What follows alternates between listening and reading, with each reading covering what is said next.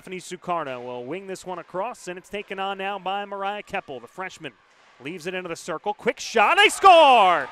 It snuck through Jenna Brenneman, and the Tigers, 34 seconds into the man advantage, have struck. It's one. As Fillier will ride this one through center. Dancing on in. Sarah Fillier threw it in front. Wow. They score! Maggie Connors on the finish. Another power play goal. 2 0 Princeton. They had to face four shots so far. Here's an opportunity the other way, though. Shane Nelson cruising on in. Chance. Save McQuigge and the big rebound. Got blocked by Thompson on the try that Heising.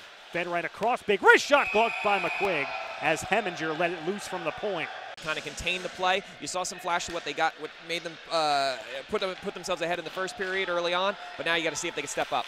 Fillier, toe drag, shoot, she scores! Sarah Fillier off the post and in, and the Tigers get a big goal early in the second period. It's 3 0 Princeton. That was an absolute snipe of coming off the sideboards there, being able to pick the lower corner, just uh, you know, beating Brenneman uh, on the ice or just off the ice. Great individual effort there. Here we see him coming, Fillier coming off the boards. Uh, doesn't really have any other options. Never a bad choice to put it on net. Getting it about three, three to six inches off the ice, being off the pad. Great shot.